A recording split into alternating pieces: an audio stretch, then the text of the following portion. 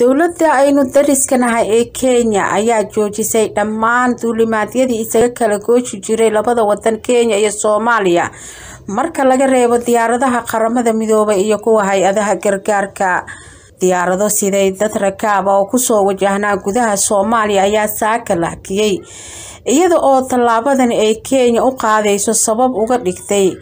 qaadka kenya ay soomaaliya keeni jirtay oo weli xayiraada uu saaran yahay halka dowladda soomaaliyana ay ka hadashay arrinkaasi oo ahaa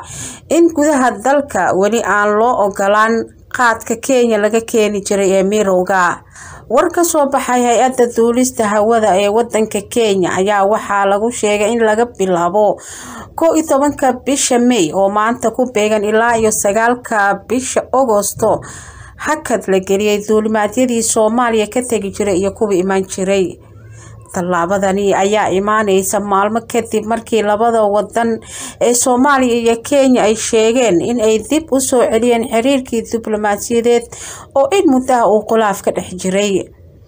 Dowladda soomaaliyana ay sheegtay in arrinkaasi aysan qayb ka ahayn arrimaha badda iyo qaadka oo in muddo ah dowladda soomaaliya ay qaadkaasi hakad gelisay.